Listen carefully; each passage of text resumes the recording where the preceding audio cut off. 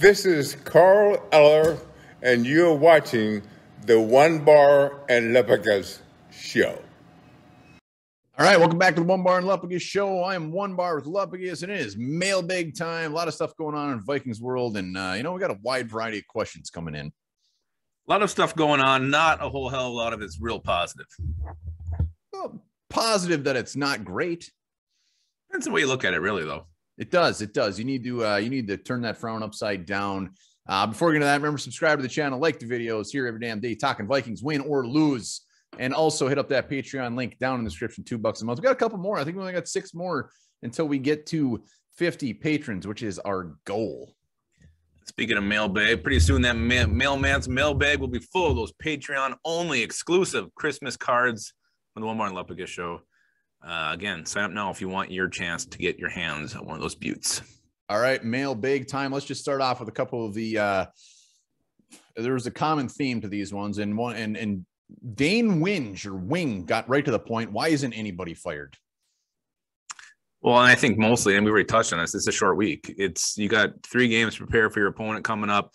Making a coaching staff change right now would would really really hinder your chances of winning. In a in you know as bad as the Vikings have been, losing two in a row, uh, they're still in the playoff hunt. So you don't want to make that change right now, especially when you got all this money invested in this team. I'm sorry, did office, you say we're still in the playoff hunt? Technically, they still are in the playoff. Everybody just you, xed off. Everybody's. I'm just now. saying, they're, that's just how they're going to look at it. They got all this money invested in this team. They're not just going to make a coaching change right now. So I would. I'm going to say Friday, Saturdays, where we could see a coaching change if the Vikings lose to the Steelers. Really? Wait till Saturday? Suspense. Suspenseful.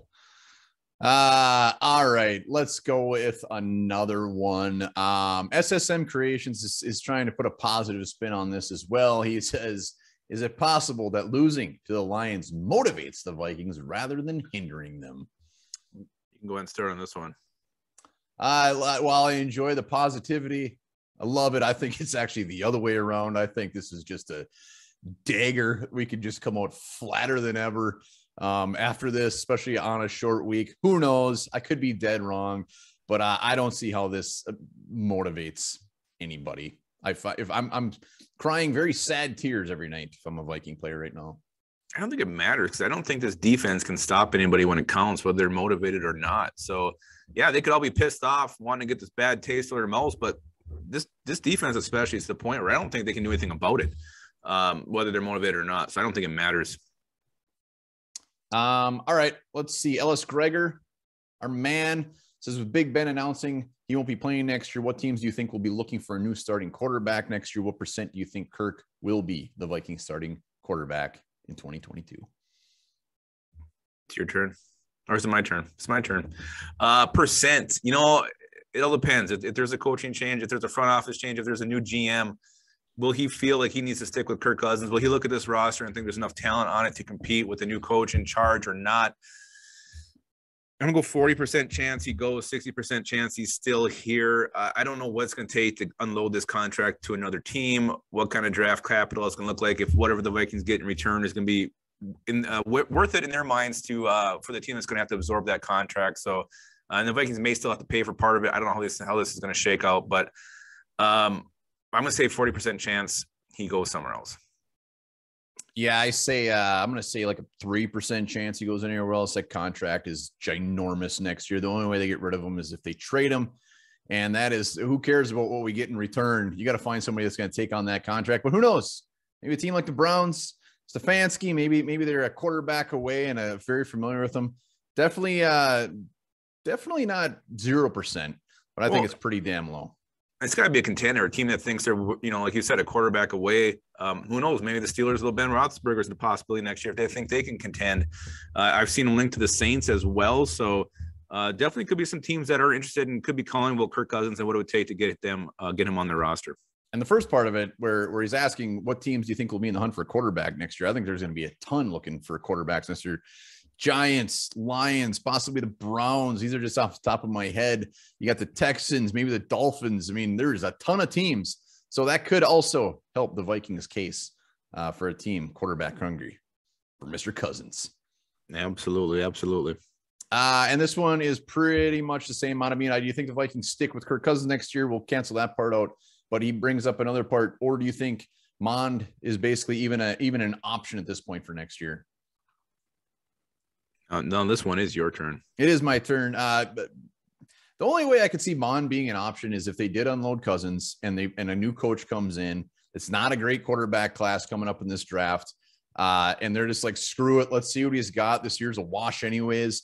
Maybe he pops all of a sudden. He's just having a fantastic year, or they realize, all right, this guy might be a career backup, but hey, we got our backup for the future. So that that that's the only way I see they roll with Mond. Yeah, I agree. I mean, there's whoever comes in isn't going to be the guy who drafted him.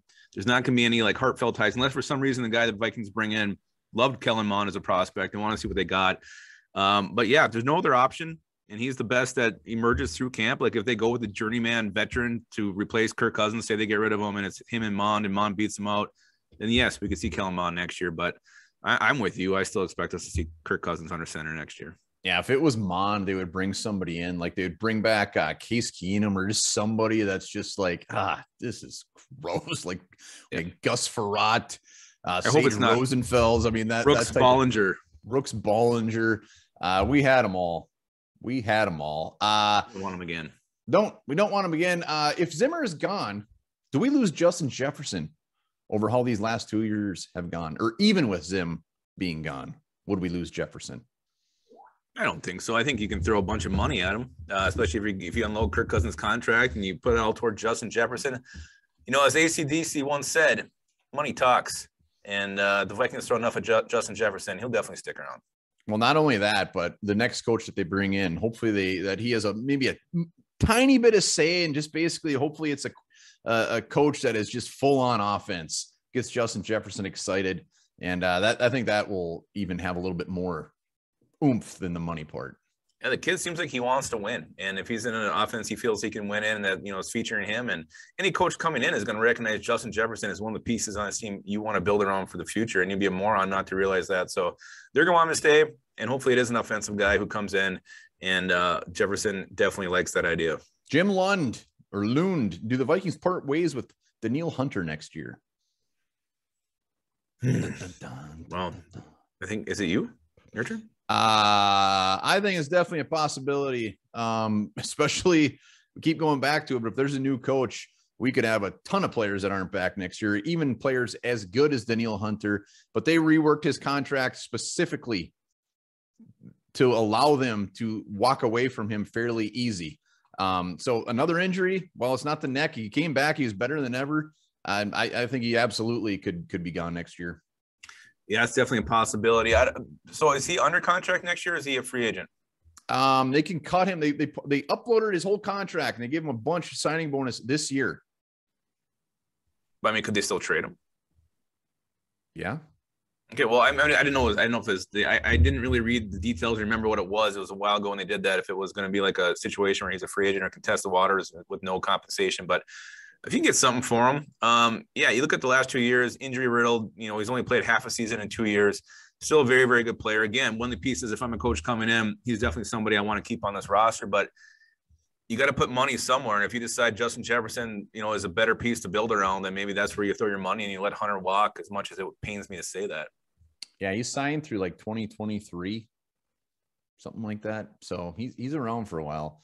Um, all right, next up, final. All right, we got two more. Raymond Hoagland. We get this question every time. Why isn't Wyatt Davis playing? Nobody knows. That's the answer. We're moving on. Uh. Matamita, I double dipped here and put two questions. It's Your, fine. wi- your wishes for Vikings new head coach next year. Yeah, I mean, you did the video. I, I, you know, I haven't got around to watching it. I've been very busy. Um, personally, a couple Everybody guys. I mean, did. I want, I want an offensive-minded head coach. Uh, whether that's Brian Daboll, whether that's uh, Byron Leftwich, Kellen Moore is a guy I kind of like from Dallas. Just, um, you know, I think he's a bright offensive mind, and uh, that's who I want coming in here. A guy who's, you know, he's been around for a while. Uh, seen, you know, he, he made Dak Prescott look damn good at times. So Kellen Moore is kind of my favorite now, but I'd be happy with any guy who's got an offensive pedigree. Yeah, we're on the same page there, and I think that's the only way they go. Dayball, I, I, I'm a, I'm a big Doug Pederson guy.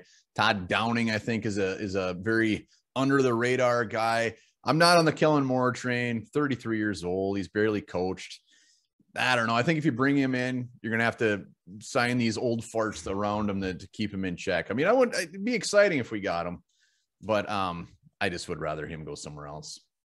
I'd be fine with it. You look at some of the young guys having success right out of the, out of the gates, so uh, I definitely wouldn't be opposed to him one bit. But then I think you make another point: uh, the supporting cast. I don't want to see this retread of you know he's the brother of this guy, he's the father, the son of this, so this is why we're hiring him. No, no more nepotism. It's time to get just find a great defensive coordinator, bring him in because what he's done in the past or what he you know brings to the table, not because he's somebody's relative. Enough of that shit. It's not working for us. I want a staff made up of no one, no blood relatives on this coaching staff next year. Something tells me that that that is not going to happen. I think you are right. I don't think they're going to go down that road one damn bit. And if they got it, they're gutting it. Even I, I mean, I could see even the favorites, Patterson, guys like that. I think they just wipe it clean. And it's like it's your just, ass this morning. It's just time. It's time for change. It's time from change from every single position on the coaching staff. And if Zimmer goes, like you said, the whole thing needs to go. Speaking of position, that is our mailbag for this week. I don't know if that had anything to do with position. Did in my mind. All right, that is the mailbag. It's emptied. It's on the table again. Pretty soon the postman will be coming with a ma- mailbag full of one bar and Lupagus Christmas cards. So hopefully you sign up for the Patreon so you get Segue. yourself one of those to hang on your mantle and sing Christmas carols under this Christmas. Uh, until then, guys, remember this: sixty percent, sixty percent of women fake orgasms just to keep their significant other happy and faithful.